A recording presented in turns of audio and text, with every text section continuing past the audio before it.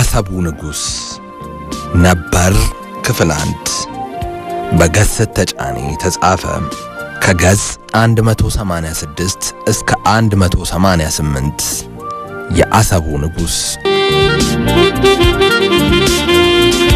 ሻለቃ መንግስቱ ጠላቶቼን አንበረከኩ ብለው የእፎይታ ትንፋሽ በሳቡ በሦስተኛ ቀን ሐምሌ 18 1968 ዓ.ም ጠዋት ላይ ሌላ አስደንጋጭ ክስተት ለደርግ ጆሮ ደረሰ። ይዘቱ አዋጅ ነበር። ክብደቱም ቀላል አልነበረም።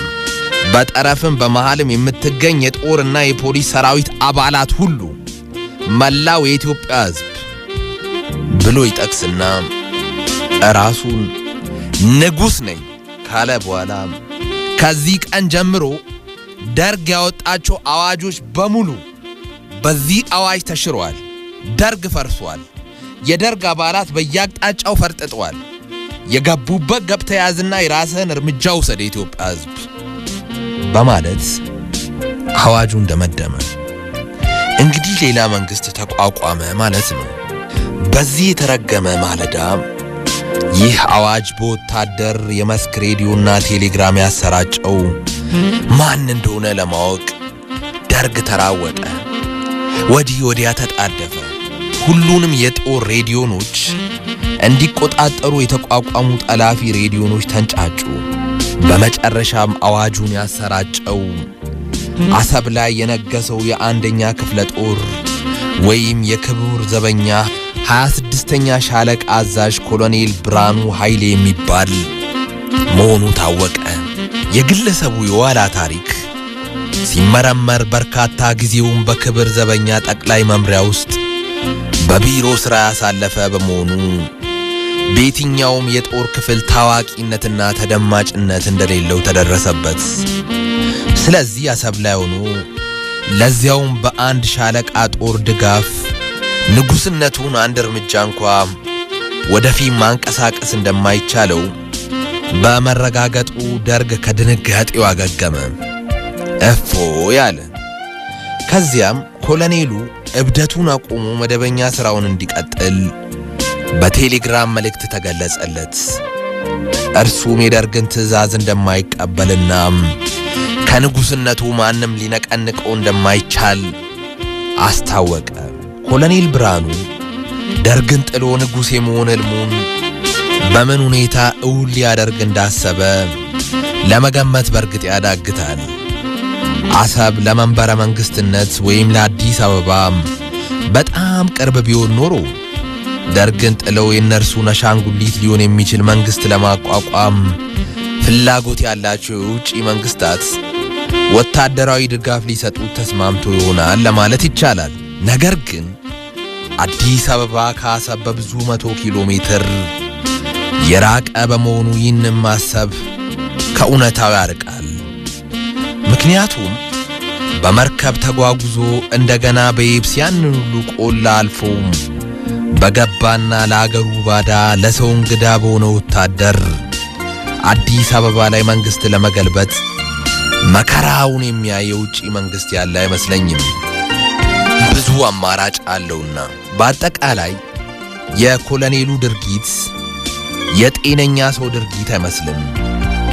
አንድም የአሰብ ኑሮ አስመርሮት ተስፋ ቆርጦ ለሞት የተሻለ ሰበብ ያገኘ መስሎት ይሆናል። አንድም ልሞክረውና ከተሳካ ገፋበታለው፣ ካልተሳካም ስሜ በታሪክ መዝገብ ውስጥ ስፍራ ይይዛል። የጀብደኞች ድፍረት ተገፋፍቶ አደረገው ከማለት በቀር የተለየ ግምት መስጠት ያስቸግራል። ያለዚያማ አንድ ብቸኛ ሰው እንዴት አንድ ማለዳ ከእንቅልፉ ላይ ተነስቶ ከዛሬ ጀምሮ ንጉሥ ነኝ ማለት ይቻለዋል? የአንደኛ ክፍለ ጦር ተነጣይ ሻለቆችና ሻምበሎች በአሰብ አካባቢ በተለያዩ ስፍራዎች ሰፍሮ ይገኙ ስለነበር ከነዚያ አንዱን ክፍል አዝምቶ ወይም ከአዲስ አበባም ሌላ መቺ ኃይል ልኮ የኮሎኔሉን አመፅ ለመደምሰስ ደርግ ምክር ያዘ። ዘለግ ካለ የምክክር ጊዜ በኋላም በወታደር ኃይል መጠቀም የሰውየውን ድርጊት ከተገቢው በላይ ማጋነንና ጦሩንም ደም ማቃባት እንደሚሆን ታመነበት። ስለዚህ ከወታደራዊ እርምጃ በፊት በድርድር ማሳመን፣ ይህ ካልተሳካም ጦሩን ከእርሱ መለየት የሚቻልበትን መንገድ መሻት በሚል ውሳኔ ላይ ተደረሰ። ሻለቃ መንግስቱ እንግዲያውስ ውሳኔውን ለኔ ተውልኝ አሉ። ከዚያም ከደርጉ የመረጃና የሬዲዮ ሰራተኞች ጋር ቆይታ አደረጉ። የደርግ መረጃ ክፍል ባልደረባ የአስራ አለቃ ወርቁ ጋዲሳ እንደገለጸልኝ እኩለ ቀን ግድም ከ26ኛ ሻለቃ ጦር ሰፈር አቅራቢያም እዚያው አሰብ ውስጥ የሚገኝ የተነጣይ ሻለቃ ባልደረባ የሆነ ማንነቱ ያልተገለጸ ተባባሪ ግለሰብ ተገኘ። ሻለቃ መንግስቱ ከዚያ ግለሰብ ጋር በስልክ ንግግር አደረጉ። እርሱም የተነገረውን ሁሉ ለመፈጸም ተስማምቶ ወደ 26ኛ ሻለቃ ጦር ሰፈር ሰርጎ ገባ። በቅርብ የሚያውቀውን ሻምበል ባሻን በሚስጥር ከጦር ሰፈሩ ይዞ ወጥቶ ከሻለቃ መንግስቱ ጋር በስልክ እንዲነጋገሩ አደረገ። ሻለቃ መንግስቱ አጠገባቸው የሚገኙትን ሰዎች ሁሉ ገለል ካደረጉ በኋላ ምን ተአምር ነግረው እንዳሳመኑት የሚያውቁት እርሳቸው ብቻ ናቸው። ሻምበል ባሻው በቀጥታ ወደ ጦር ሰፈሩ ተመልሶ ኮሎኔል ብርሃኑ ኃይሌንና ግብረ አበሩን የመቶ አለቃ ኃይለማርያም ሐሰን በቢሮአቸው ውስጥ እንደተቀመጡ ረሸናቸው። ከዚያም የእዙን ቦታ ይዞ ውጤቱን ለሻለቃ መንግስቱ አሳወቀ። እርሱም በአስቸኳይ አሰብን ለቆ እንዲወጣ ተደረገ። እናም 24 ሰዓት ባልሞላ ጊዜ ውስጥ የአሰቡ ንጉሥ ፋይል ተዘጋ፣ ተደመደመ። We'll be right back.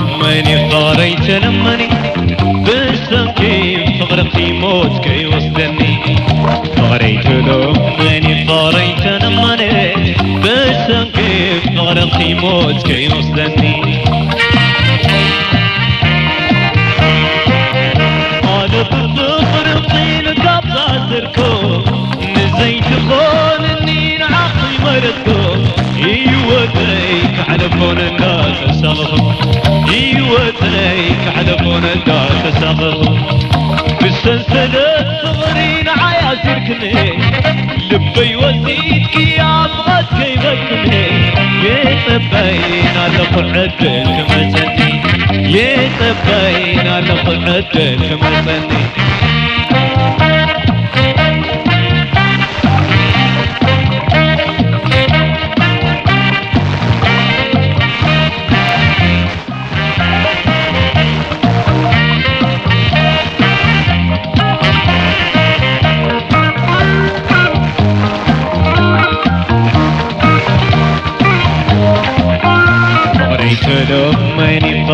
لماني بس كيف مغرق موت كي وصلني فغريت لماني فغريت لماني بس كيف مغرق موت كي وصلني في قبري زلطي قال ما فيه صوتك كيف غاد كيفك قرصون قرني مثلات قريبك قرصون قرني مثلات قريبك انا بفقر قنت لعبيدي نعيب وحيون عقل صبري نتسامح وستكبر سكرني نتسامح وستكبر سكرني